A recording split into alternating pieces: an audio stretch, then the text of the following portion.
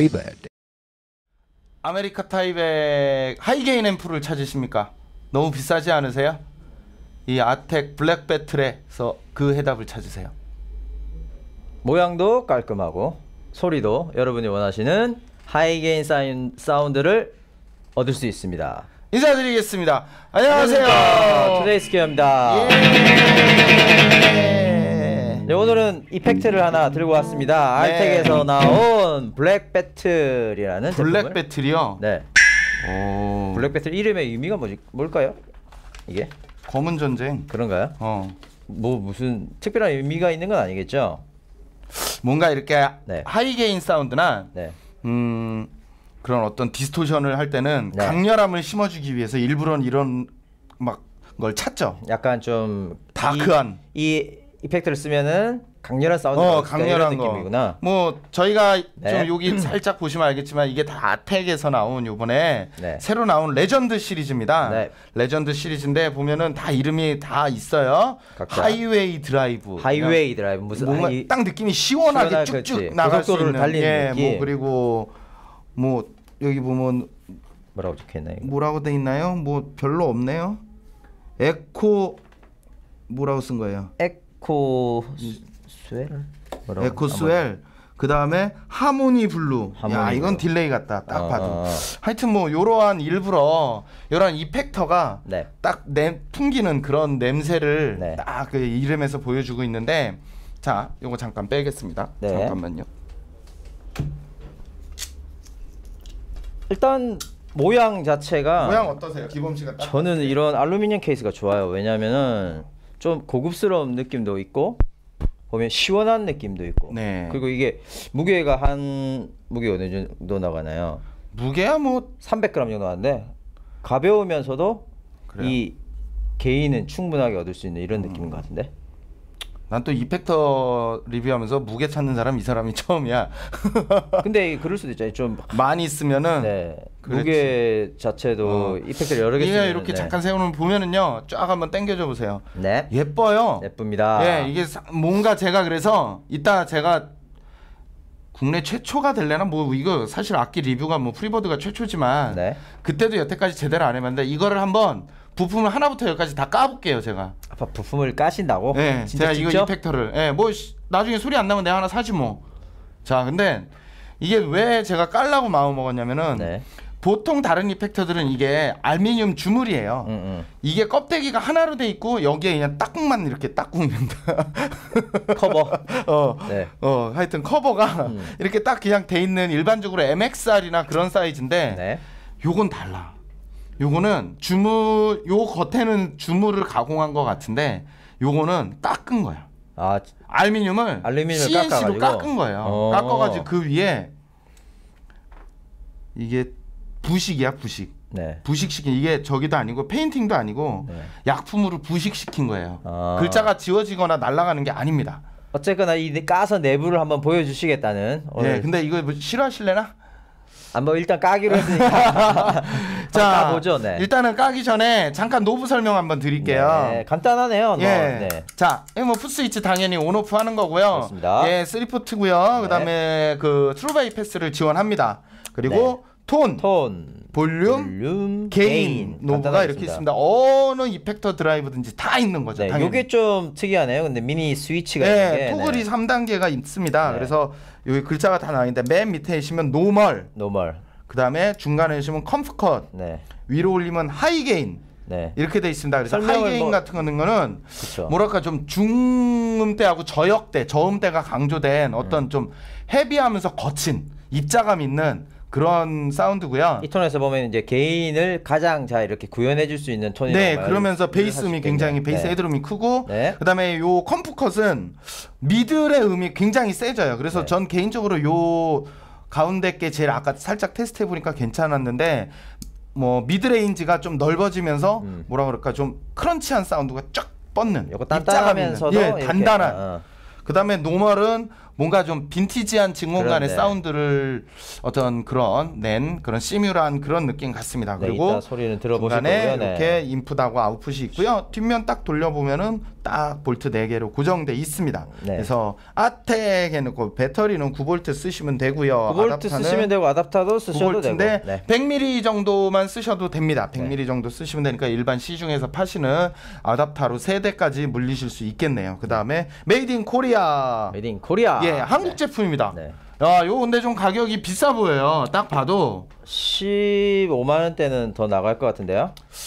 보니까 가격이, 네. 18만 8천 아, 원이네 이 가격이. 8만 원.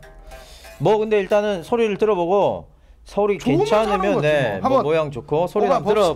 보겠습니다. 짠짠. 자 그러면 뭐 잘 알아들을 수 있게끔 일단- 볼륨이랑 톤은 좀 반해 주고 네. 개인을 조금 주겠습니다. 그리고 일단은 저희가 지금 소리가 안 나나요? 조금 기다리세요. 이거 나름 진공관이에요. 그렇습니까? 자 지금 앰프만 거친 톤이고요. 이 지금 테스트한 네. 기타는요. 볼캔의 스튜디오 플러스 V라는 제품입니다. 그래서 뭐 상당히 뭐 아주 비싼 고가는 아니 고가의 기타는 아니지만 그래도 상당히 좀 자 지금 앰프만 거친 톤 들으셨고요. 지금 들어갑니다 이펙터.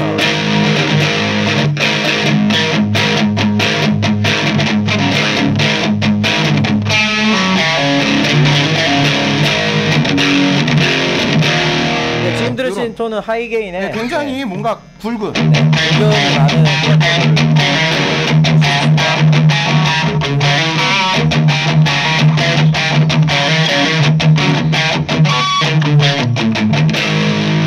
네, 들으시고 그러면 이제 가운데, 정 실장님이 가장 좋다고 하신 예. 지금 다른 개인이나 볼륨 톤은 만지지 네. 않고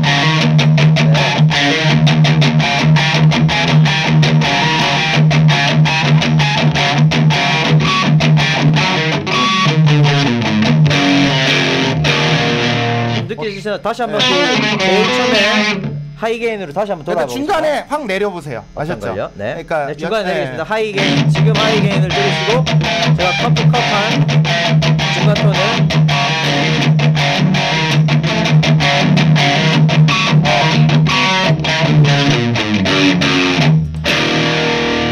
제가 이 스위치를 딱, 딱 내릴 내리는 때딱 잠시만요. 느낌이 저를. 꼬라보시면서 어? 어 바뀌었다. 느- 바뀌었다 이런 느낌으로 딱 꼬라보시던데 네, 확실히 꼬라가 참 뭐야, 이게. 꼬라 네 하여튼 중간에 이제 컴프 컷을 한 톤을 들어보니까 확실히 이제 중음대가 꽉 차가지고 좀 단단한 사운드가 네, 그러면 한번 고, 그대로 한번 밑으로 한번 내려. 제, 제일 네. 밑에 노말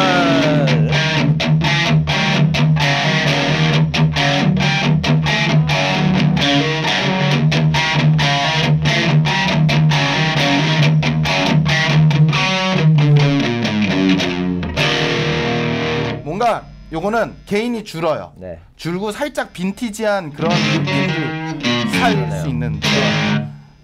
개인은 어느 정도 살아 있으면서도 네, 입자 살아 있으면서 뭔가 이렇게 살짝 빈티지한 느낌을 줄 때. 나네요. 그러니까 앰프에서 개인을 좀 낮춘 그런 거 있잖아요. 이게 네. 미국의 어떤 앰프를 네. 그 봐가지고 만든 거라는데 그런 걸 좀 시뮬레이팅 한 것 같은데 보니까 뭐 Mesa Boogie 앰프 같은 것 그러네요. 같아요. 이게 주, 중저음대가 네. 굉장히 많이 살아있는 게 보통 American tube 앰프라고 하나요? 그런 것 같아요. 네, 이게 그런 American 느낌이고. 앰프의 어떤 그런 특유의 네. 입자감이 살아 있습니다. 뭐 이따가 우리 학수 골뱅이가, 고대 하- 네. 네, 학수 고대하는 우리 골뱅이가 네, 학수 와가지고 네. 네. 학수 고대 하잖아 우리는. 네. 한번 딱 또 이 개인을 가지고 멋들어진 연, 연주를 한번 조금만 보이라 그러고요. 자 그러면 아까 제가 말씀드렸어요. 분해 까 보이는 거네 한번 내가 짠 들고 오셨군요 들고 네. 왔습니다. 네. 자 잠깐만 기다리세요. 까 보이겠습니다. 깝니다. 정치장님 어릴 때 의사가 꿈이셨는데 사람은 못 가고 지금 나 이거 순식간이야 이거 네. 까는 거예요. 내가 까는 거 잘해요. 근데 조립이 안 돼. 내가 예전에 네 그러니까 예전 얘기인데 차 쪽에 좀 있었잖아요. 그렇죠 그렇죠. 차를 한번 분해하고 엔진을 분해하고 날 때마다 볼트 세 개씩 남아. 아 너트가 세. 근데 그게 웃긴 게 그 엔진을 다시 풀러서 또 조립하잖아. 또 남아.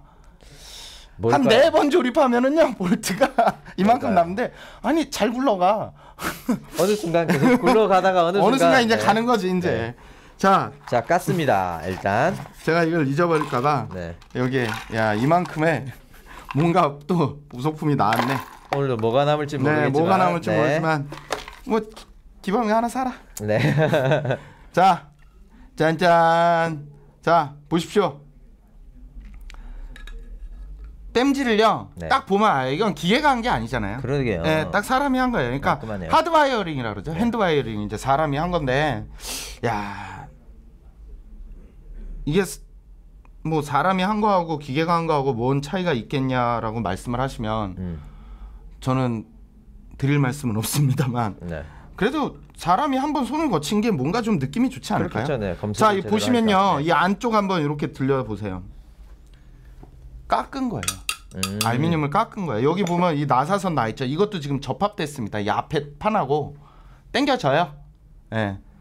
접합이 돼 있습니다. 네. 제가 뭐 이것까지 풀려다 귀찮아 가지고 이건 안 풀렀는데 그 대박인 것 같아요. 이게 보니까 그리고 끝에 구멍 마감을 사람이 했네.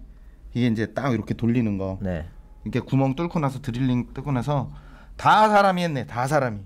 야, 이거 진짜 사람이 했기 때문에 이게 가격이 조금 높을 수도 있는데 그만큼 정교할 수도 있는 예. 요게 인풋 스위치인데 요걸 일명 우리가 이제 거북이 pot라 그러는데 야, 요거 괜찮아요. 요거 쓰고 그다음에 pot도 내가 보니까 made in Korea 한국산 좋은 제품을 썼습니다. 그래서 아까 이 커브도 좋고 그다음에 tone knob나 그다음에 gain knob가 굉장히 네. 잘 먹습니다. 네. 아까 gain knob를 안 돌려봤네. gain knob를 그러면 고정만 골- 해놨네. 네네. 골뱅이 할 때 한번 gain 네, knob라. 지가 해, 네. 하겠지 뭐. 자, 뭐 여기 칩이 하나 들어갔어요. 여러분들 이런 거 좋아하시죠? 4558D입니다. JRC 4558D 이런 거 파는 거 좋아하시는 분 있더라고. 무슨 칩이 들어갔어요?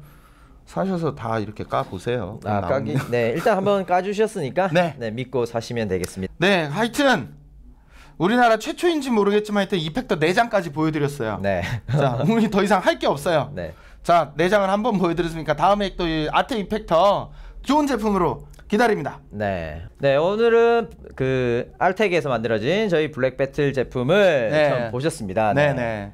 어떤 살아있네. 네. 이 American tube 앰프의 이런 매력적인 드라이브감을 네. 맛보시려고 하면은 네. 저희 이 블랙 배틀 제품을 한번 싸서 네. 사시기 전에 테스트 해보시는 것도 괜찮아요. 난 신촌 매장 오셔서 신촌 매장이나 강남의 학동 매장 오셔서 하시고요. 학동 매장 자주 들려주세요. 네, 정 시장님 볼 수 있습니다. 학동 예. 매장 들으시면 네. 자주 들려주시고 뭐 원하는 대로 해드릴게요. 원하는 대로 해드릴 테니까 일단 자주 들려주시고요. 페이스북 페이지 오픈했으니까 아, 친구? 추천하시면 네. 이 이벤트 팡팡 경품 팡팡 나가니까요. 참고해 주시고 밑에 페이스북 주소 나 보내 내 보낼 테니까 해 주시고요. 자 오늘 Artec Black Battle 예 제품에 대해서 알아봤습니다. 네. 여러분의 작은 댓글이 저에게 큰 힘이 됩니다. 많은 댓글 남겨주시고요. 자 오늘은 저희 여기까지 인사드리겠습니다 감사합니다. 감사합니다.